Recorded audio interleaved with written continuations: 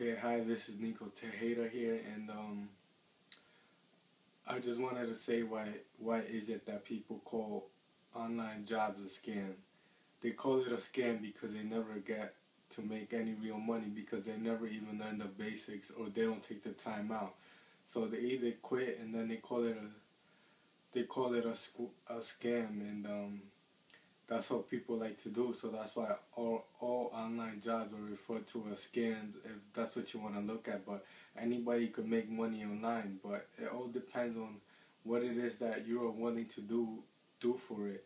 It is a job, you know. You can't make excuses at your real job. So why would you make excuses here? It's no different just because you're working from home. It's still called work from home. So it's no different on what it is that you could do and that's why people refer to it as scam. They never learn the basics. And um, I'm part of Big Idea Mastermind. And Big Idea Mastermind, they, they help you to reach the top 2% of top online marketers. And they teach you the basics that they do not teach any anywhere else, which is self-development. And um, that's how you attract people into your business. And they don't teach that anywhere else in any other company.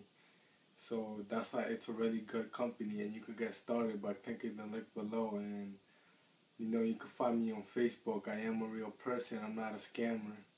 And um, just click the link below and get started. Just put in your email address. Click the link below now.